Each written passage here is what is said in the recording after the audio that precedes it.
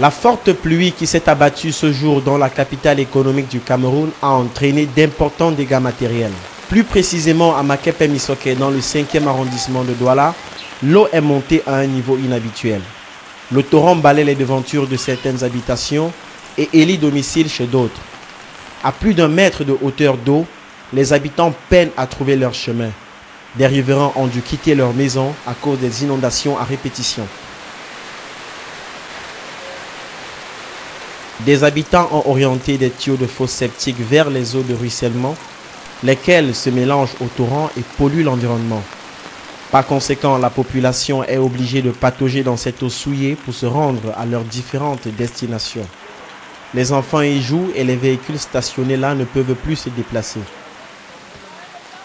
Alors, euh, vous constatez vous-même l'état dans lequel nous sommes euh, depuis ce matin, avec ces pluies qui ne cessent, qui ne cessent de s'accroître et, nous sommes carrément fichus dans un pétrin parce que là, on est, on, est obligé de faire avec des eaux et c'est pas une fois, c'est pas deux fois, c'est tous les jours, tous les matins, à chaque fois qu'il pleut, on est, toujours bloqué à la maison tout simplement parce que on se retrouve dans la même maison avec de l'eau et c'est une situation qui commence à devenir très très difficile à vivre.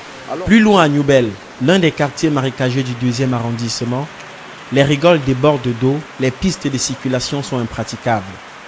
Des déchets ménagers drainés par des eaux bouchent les voies de canalisation, affichant ainsi un décor insalubre.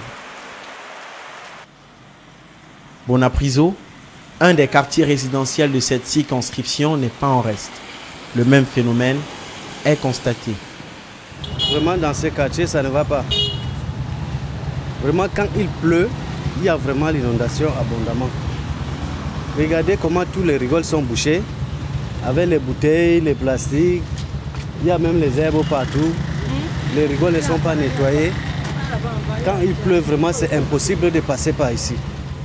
Comme chaque année, les populations de la ville de Douala font face à des pluies diluviennes entraînant de nombreux dégâts. Le phénomène est très souvent observé dans les zones marécageuses. On note aussi que la construction de certaines habitations sur les drains et la stagnation des eaux du fait du non-curage des caniveaux en sont les causes. Tout porte à croire que la campagne Occupation Jeune qui a pour but de nettoyer les rigoles ne porte pas de fruits.